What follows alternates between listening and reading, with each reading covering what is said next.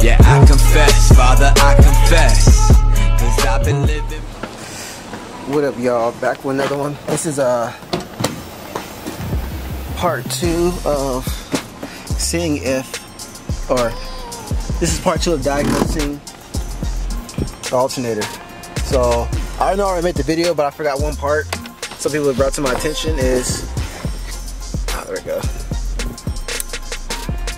When you're testing the alternator, you want to that. Take off the terminal. I think it's the negative terminal of the uh, battery while the car is running.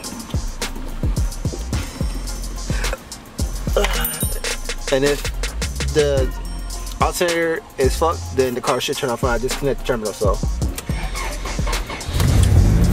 gonna see right now. I'll show you guys. So right now I'm at 10.9 volts, 10.8. So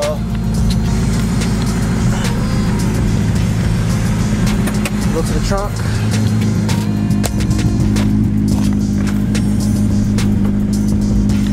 We're gonna see if it turns off.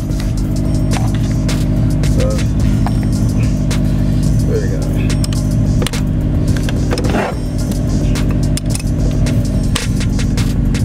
Oh shit, wrong way.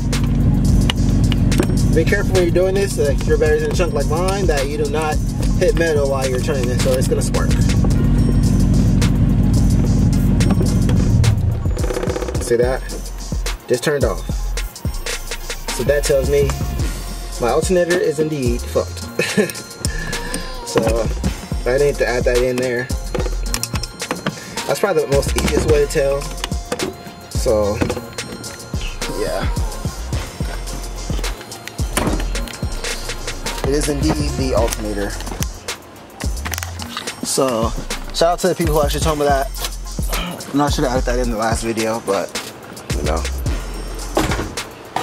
give y'all part two. Y'all like extra videos, so you know.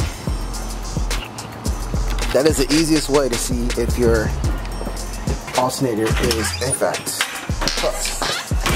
Because I turned it right off as soon as I unplug the negative terminal. So make sure you guys like, subscribe. Information to reach me is always down in the description below. Until next time, salute.